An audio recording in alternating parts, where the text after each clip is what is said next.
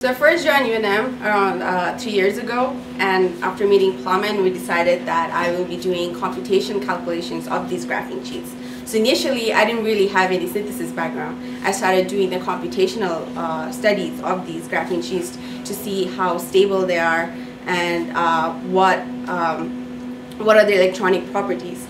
And once we uh, published our papers on that, I moved on to the synthesis part where we actually took the theory that I did all the calculations in and applied it to a more uh, synthesis in a lab uh, in a lab environment.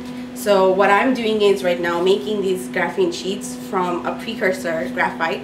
Graphite is you can think of it as stacks of graphene sheets, except they're so close packed that nothing can get through them. So what we do is we oxidize it and break it up and put holes in it so that the fuel can go in and out and then also our catalyst has like a seat to like get embedded in. So that is uh, basically, you can think of it as a one pot synthesis because once we make it, after that we just reduce it and then um, do our characterization techniques to make sure that we are producing what we want to.